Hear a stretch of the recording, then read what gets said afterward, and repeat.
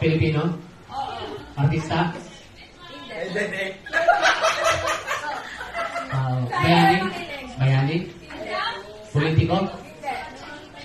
Tambay?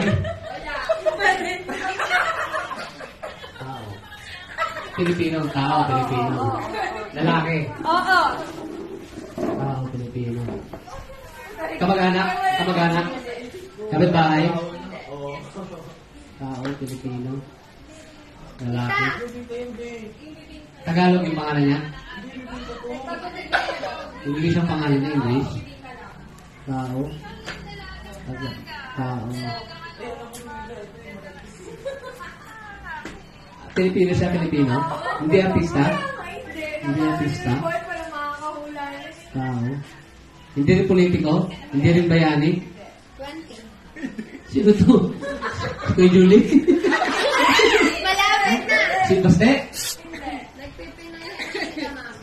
Tagalog. Tagalog yung pangalan niya. English. English. Mm, Ador. Satan? Jesus? Jesus? Pwede, pwede, pwede. Satan? Jesus? Jesus, pwede. Ah, Peter? Peter Pan? Pwede, pwede. Lapit na. Let's go, let's go, let's go. English. English tao. Pilipino, pero Pilipino. Oo. English tao, Pilipino. Hindi rin artista. Hindi. Pwede, pwede. Si Barney. Ang hirap naman. Tao. Wala bang madali-dali? Pilipino, English. Eh. Ako ako magbibigay ng Hindi man lang ano, wala man lang kategory kung artista siya o politiko o ano. Kapitbahay natin. Kakilala natin, Oo. kakilala natin, Si Talong. Julius Basa, ay hindi.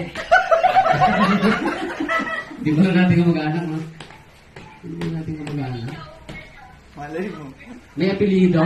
Oo. May apelido? Mark Buta? David Libao?